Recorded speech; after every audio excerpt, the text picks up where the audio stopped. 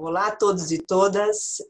Meu nome é Diana Vidal e sou diretora do Instituto de Estudos Brasileiros da Universidade de São Paulo. O IEB é um órgão de integração da USP e de constituição multidisciplinar. No IEB nós temos um enorme conjunto do patrimônio cultural brasileiro, constituído basicamente por arquivo, biblioteca e coleção de artes visuais. No arquivo, nós temos em torno de 500 mil documentos, na biblioteca, por volta de 250 mil livros, e na coleção de artes visuais, em torno de 8 mil objetos. Muitos deles ligados à discussão do modernismo brasileiro, mas também ligados fundamentalmente ao que nós estamos apresentando agora como dataset dentro deste hackathon, que são a, que é a coleção de cordéis. É, nós temos uma enorme coleção de cordéis, é, tanto no arquivo quanto na no setor de coleção de artes visuais.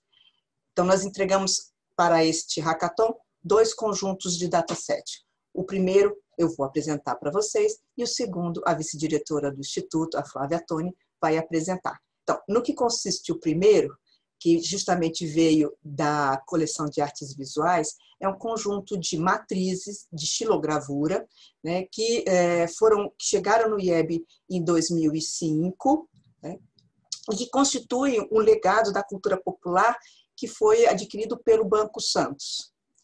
Basicamente, ele se consiste no conjunto de matrizes e de impressões de Amaro Francisco Borges relativo ao livro de Apocalipse da Bíblia.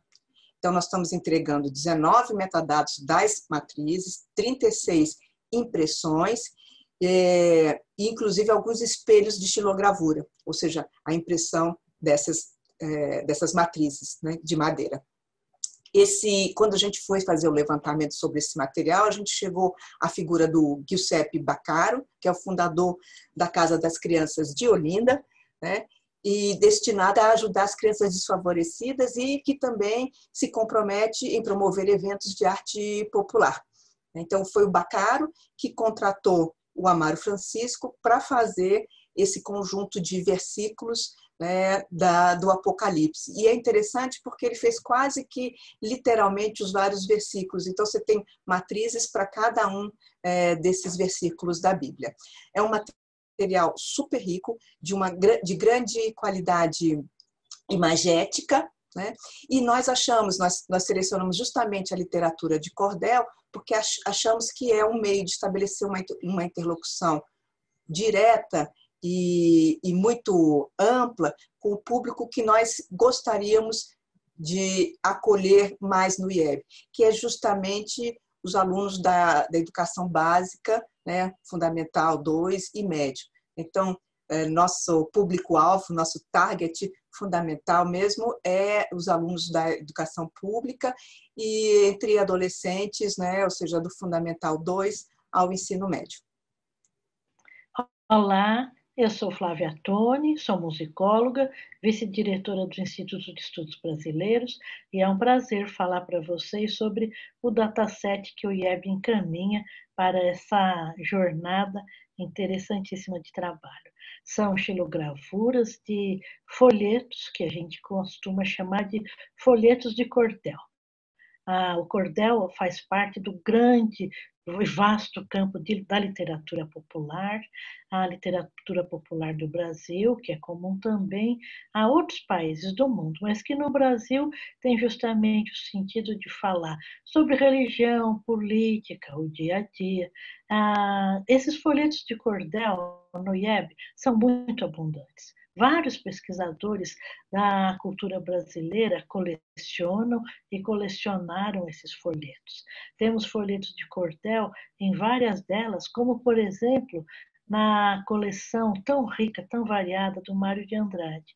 A literatura de cordel interessava o Mário de Andrade tanto pela poesia que ela traz, como também pela musicalidade dela. Né? Ah, dentro da coleção do Mário de Andrade existe, por exemplo, uma coleção um pouco menor e muito variada também, que foi, por exemplo, doada ao Vila Lobos, que por sua vez passou essa coleção para o Mário de Andrade. A gente chama de Fundos Vila Lobos. Dentro da literatura de cordel, a gente percebe, sobretudo, formas de rimar que são muito particulares e assuntos que também vão mostrando muito da caracterização de um tempo. Então, por exemplo, na época do Getúlio Vargas, era muito comum que nesses folhetos os cantadores uh, glosassem e uh, contassem a história do Brasil a partir do governo do Getúlio Vargas.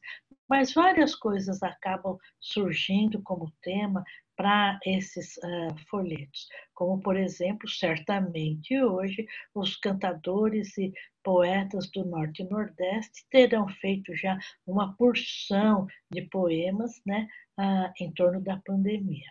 Eu espero que vocês gostem de conhecer tanto esses poemas, quanto aproveitem bastante as imagens que compõem a coleção de artes visuais. Estão todos convidados para irem ao IEB assim que nós pudermos transitar com maior liberdade por esta grande cidade, para que vejam a nossa coleção, tanto na coleção de artes visuais quanto dentro do arquivo do IEB. Bom proveito!